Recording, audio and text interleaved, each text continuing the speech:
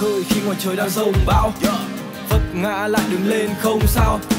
Ước mơ đã xây đắp còn dang dở, nên ta vẫn cứ đi vì tuổi trẻ còn đang thở.